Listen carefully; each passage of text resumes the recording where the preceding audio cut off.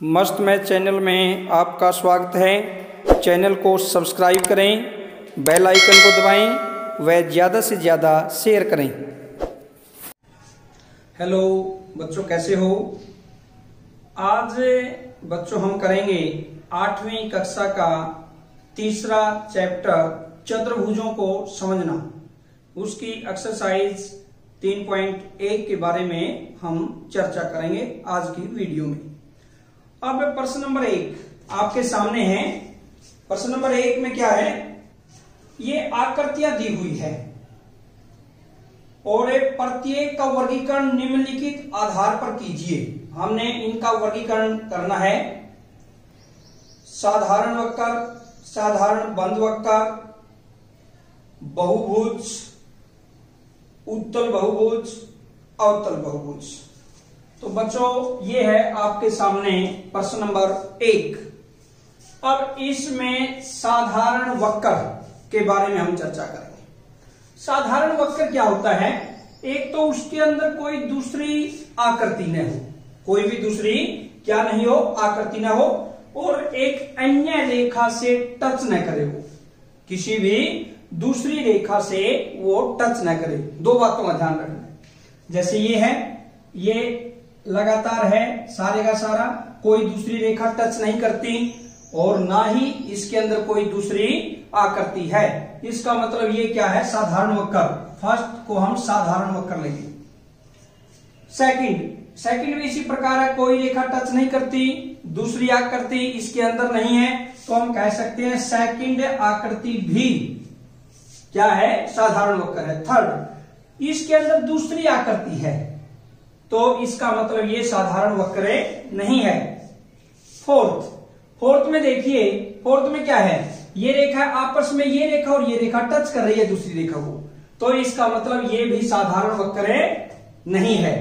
ये ये है तो वक्र रेखाएँ लेकिन ना तो कहीं पर भी दूसरी किसी को टच कर रही और ना ही इसके अंदर कोई आकृति है।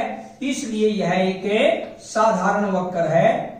पांचवा पार्ट भी साधारण वक्र, या। पार्ट छ पार्ट छ में भी ना कोई आकृति है, ना कोई रेखा टच करती है, इसका मतलब पार्ट छ भी साधारण वक्र है, छठा पार्ट सातवें में भी इसी प्रकार है, दूसरी आकृति नहीं है, इसका मतलब क्या हुआ, सातवां भी साधारण वक्र है। पार्ट सात, आठ आठ में टच कर रही है, इसका मतलब ये साधारण वक्र नहीं है। इसलिए बच्चों, ध्यान से देखिए, किसी को न तो कोई दूसरी रेखा टच करे और ना ही उसके अंदर दूसरी आकृति हो, उसे हम कहते हैं साधारण वक्र। साधारण वक्र में कौन कौन सी हुई आपकी आकृतियाँ? फ़र्स्ट आकृति सेकंड फिफ्थ सिक्स और सेवंथ ये थी आपकी साधारण वक्र। और सेकंड बी पार्ट साधारण बंद वक्र। अगर हमें ये तो पता लग गया, हमने इन आकृतियों में ये सारे के सारे साधारण वक्र है। अब इन्हीं में से चेक करना हमने कि कौन सा साधारण बंद वक्र है।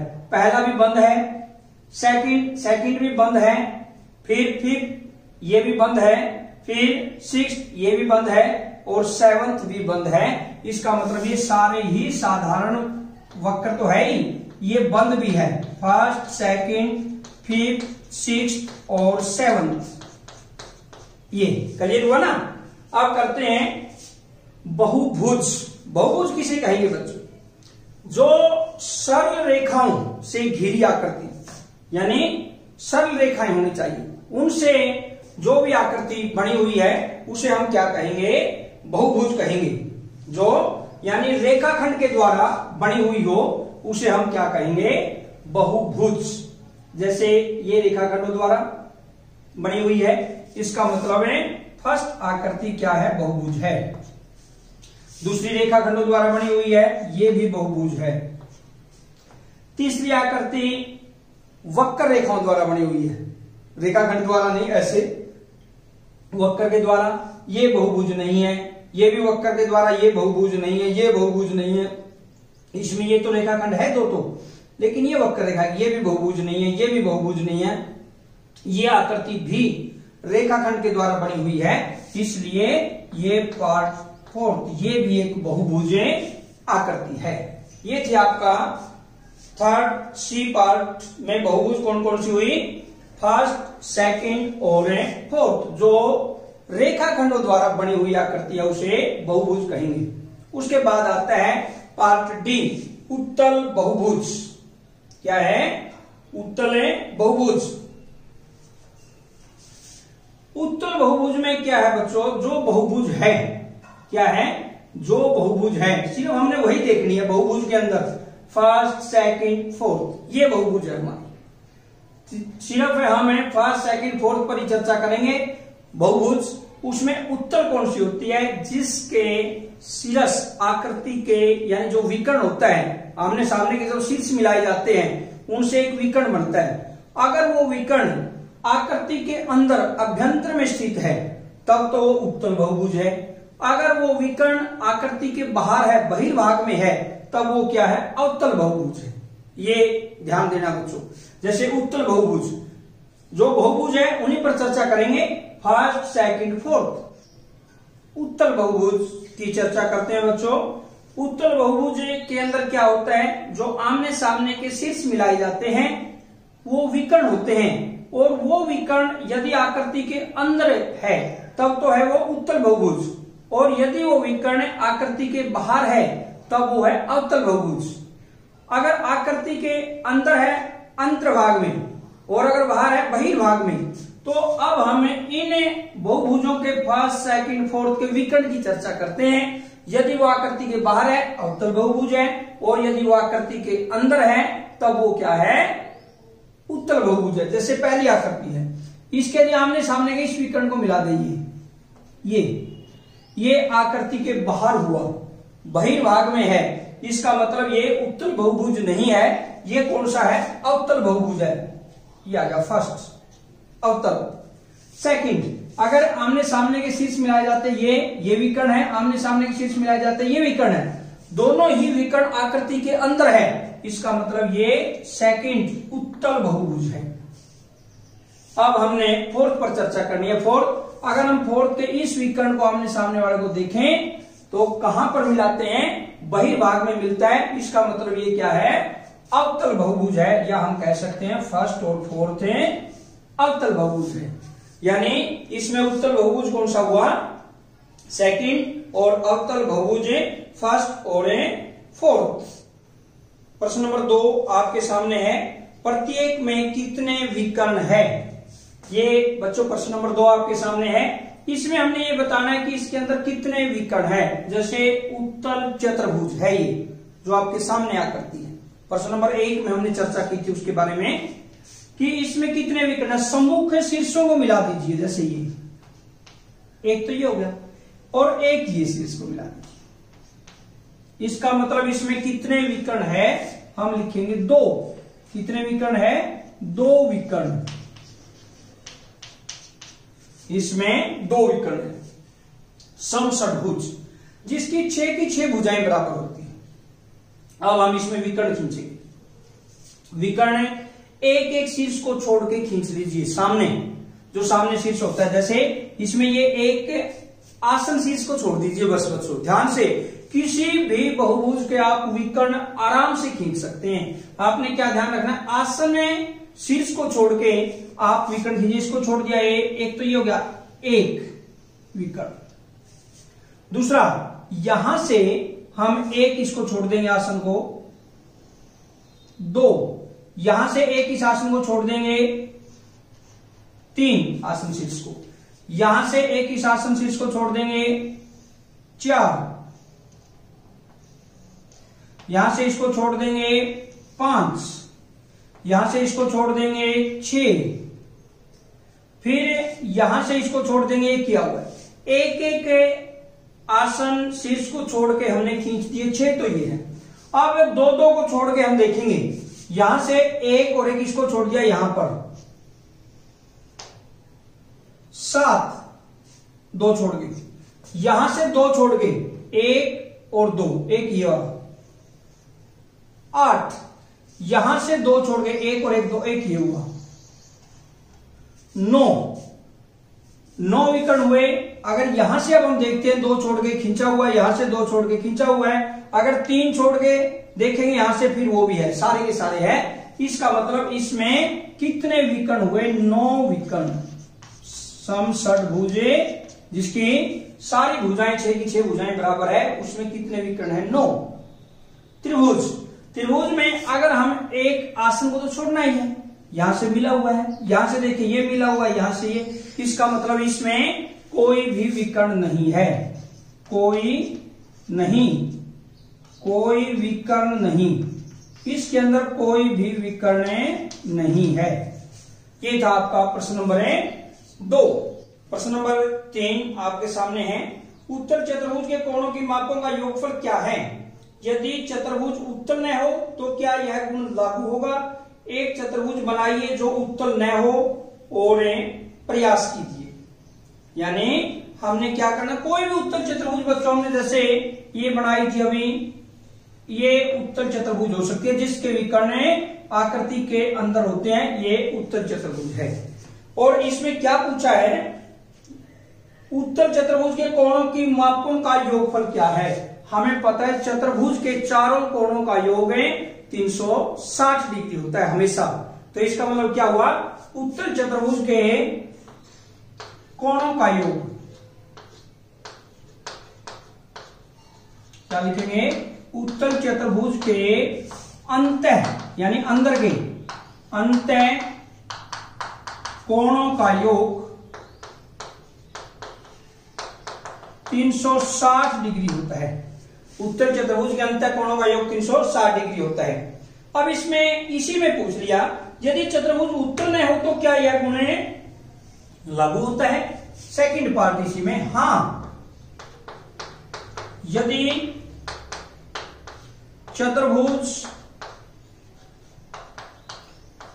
उत्तल न हो तब भी अंत कोणों का योग सदैव 360 डिग्री होता है। यानी बच्चों, इसका मतलब क्या हुआ?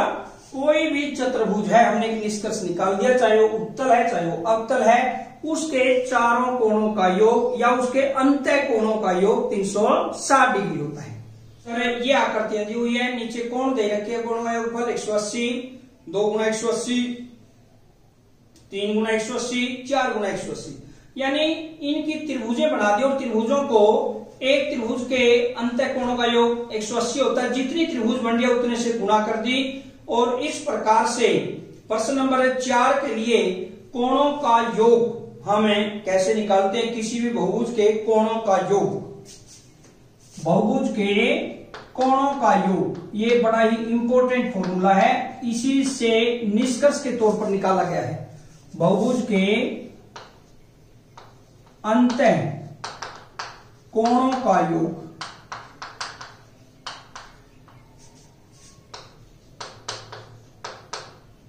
बहुभुज के अंत कोणों का योग। क्या होगा? एन माइनस टू गुणा एक सौ अस्सी। एन माइनस टू गुणा एक सौ अस्सी। एन क्या है? बहुभुज की संख्या। इस फार्मूले को बच्चों ध्यान से याद रखना आपने। और वो कैसे? वो ये आकृतियों से बनाया गया फार्मूला एन माइनस टू गुणा एक सौ अस्सी। बस ये ध्यान रखना है, अगर त्रिभुज है एन की जगह तीन रख दीजिए, भुजाओं की संख्या। चतुर्भुज है एन की जगह चार रख दीजिए। पंचभुज है एन की जगह पाँच रख दीजिए। यानी एन क्या है? भुजाओं की संख्या।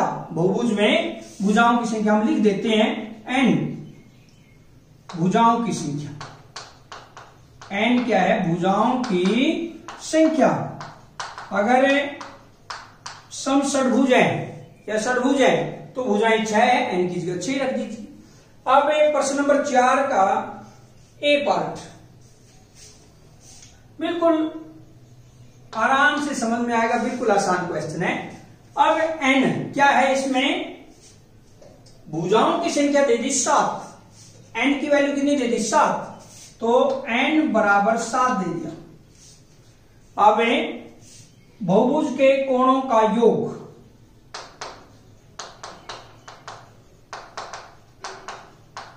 फार्मूला वही एन माइनस टू गुणा एक सौ अस्सी। या हम कह सकते हैं एन कितना है सात माइनस दो गुणा एक सौ अस्सी। या पाँच गुणा एक सौ अस्सी। या अठारह पंद्रह नब्बे, नौ सौ डिग्री। ये आ जाएगा। ये बच्चों समझ में आ गया होगा? एन की जगह एन की वैल्यू पुट कर दी। बस, कुछ नहीं किया। सेकंड पार्ट बी बी में एन क्या दिया हुआ है? एन की वैल्यू आठ। इसमें सिर्फ़ एन की जगह आठ रखना है। अब हम करेंगे कोणों का योग। अंत कोणों का योग है? एन माइनस टू वही फार्मूला आठ माइनस दो। गुणा एक सौ अस्सी या छ गुणा एक सौ अस्सी या अठारह जी का एक सौ आठ। एक हज़ार अस्सी डिग्री ये आ गया, यदि एन की वैल्यू कितनी है? आठ। और यदि एन की वैल्यू दस सी पार्टी सी का? एन बराबर दस, तब कोणों का योग?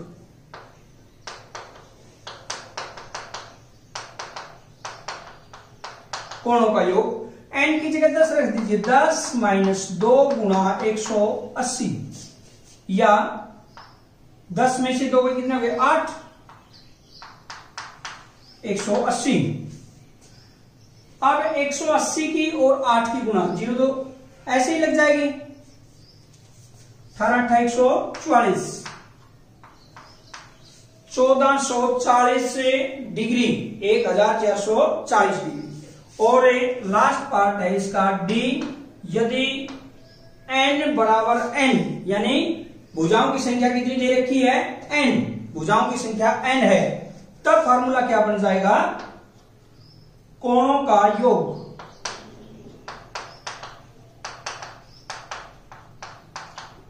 एन माइनस टू गुना एक सौ अस्सी, ये हो जाएगा। अगर उसकी क्या दी हुई है? एन भुजा दे रखी है। ये था आपका प्रश्न नंबर है चार। प्रश्न नंबर पाँच आपके सामने है, सम बहुभुज क्या है? एक सम बहुभुज का नाम बताइए जिसमें तीन भुजाएँ, चार भुजाएँ छ भुजाएँ हो। बच्चों, सम बहुभुज क्या है? सबसे पहले तो प्रश्न नंबर पाँच में हम करेंगे, सम बहुभुज क्या है? सम सम का समान, बराबर। सम बहु भुज, जिसकी भुजाएँ समान हो, उसे हम कहते हैं सम बहुभुज जिसकी सभी भुजाएँ समान हो, उसे क्या बोलते हैं? सम बहुभुज यानी हम करेंगे सम बहुभुज सबसे पहले ये बताएँगे सम बहुभुज क्या है? सम बहुभुज जिस बहुभुज की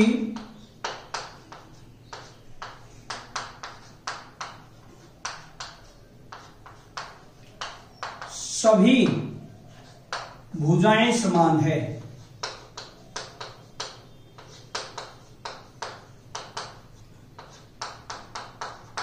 जिस बहुभुज की सभी भुजाएँ समान हो, उसे क्या बोलते हैं? सम बहुभुज। अब इसके ए पार्ट में क्या है? तीन भुजाएँ, जिसकी तीन भुजाएँ समान है। इसका मतलब क्या हुआ सम बाहु त्रिभुज। सम बाहु त्रिभुज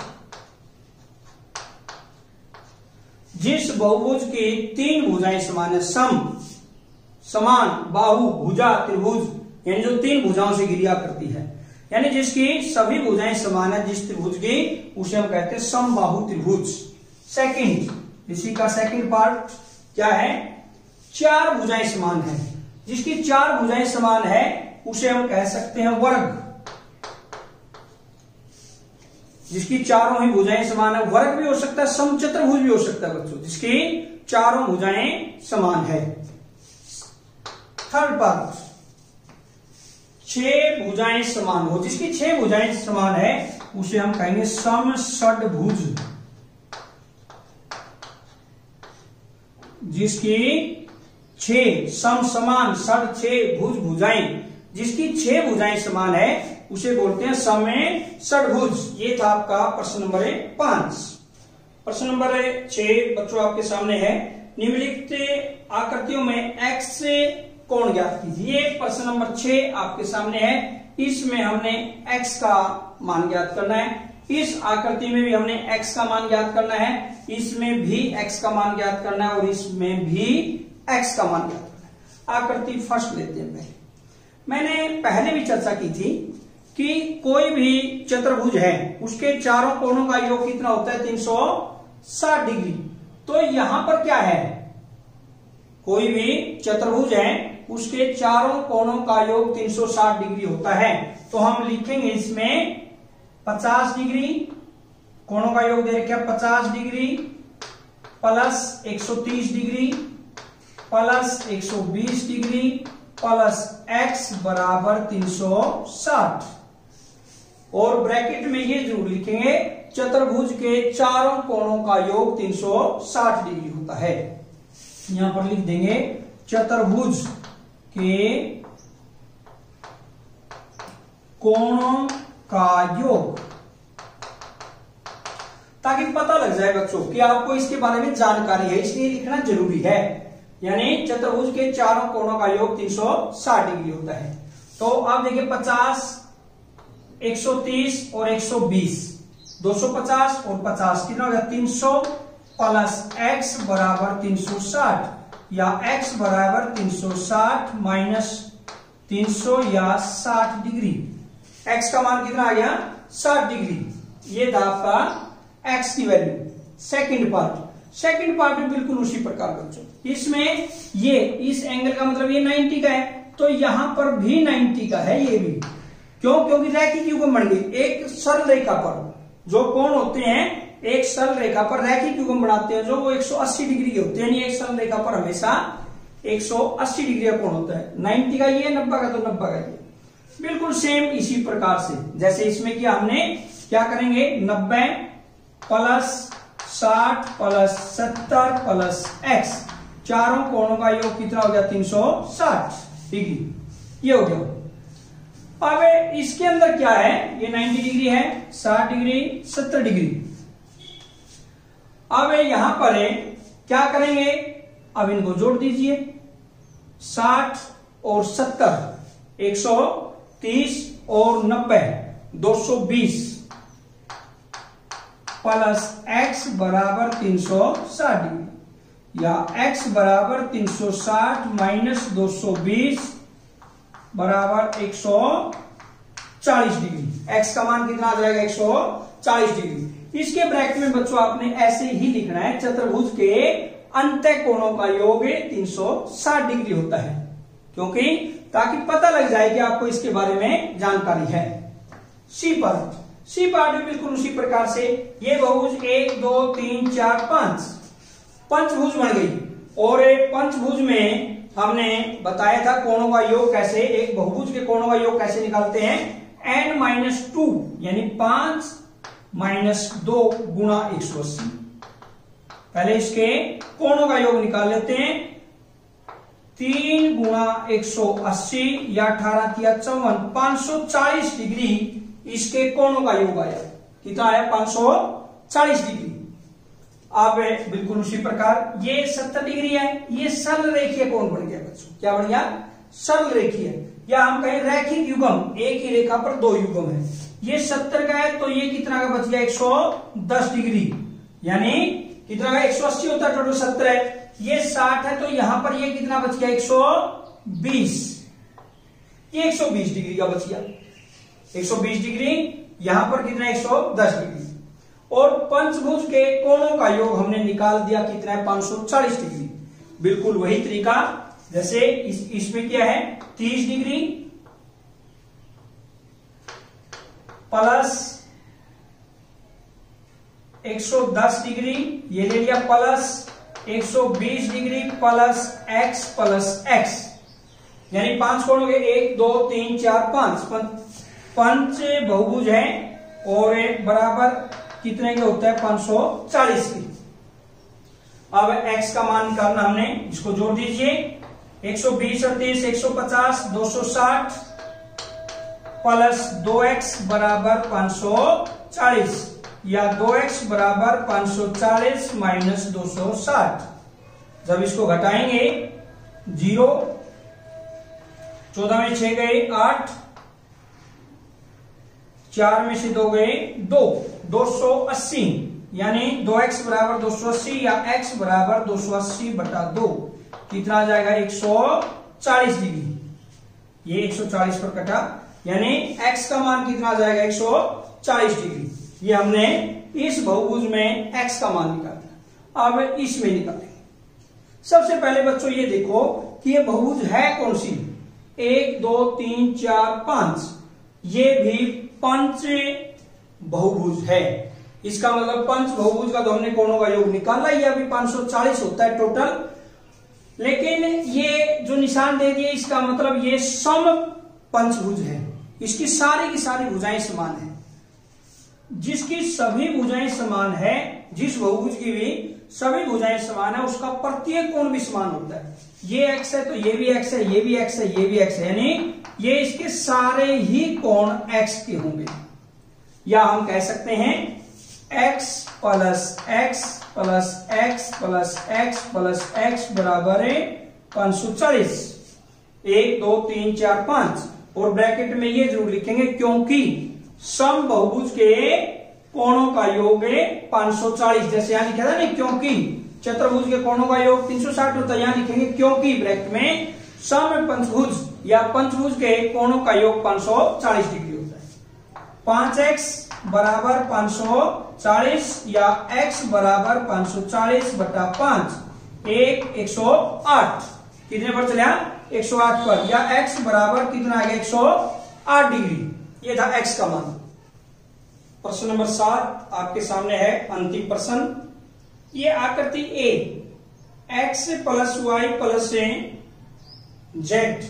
ज्ञात करना है और आकृति second x plus y plus z plus W ज्ञात करना है। बच्चों, अब देखिए, पहली आकृति में हमने क्या ज्ञात करना? X plus y plus z इसका मान ज्ञात तो x plus y plus z किसी भी बहुभुज के बाह्य कोणों का योग 360 डिग्री होता है हमेशा। कितना होता है? 360 डिग्री। तो हम इसलिए कर सकते हैं, कोण x, ऐसे कोण करते हैं, कोण x प्लस कोण वाई प्लस कोण जेड बराबर 360 डिग्री। और यहाँ पर लिख देंगे क्योंकि, ये क्योंकि का निशान है, बहुभुज के बाह्य कोणों का योग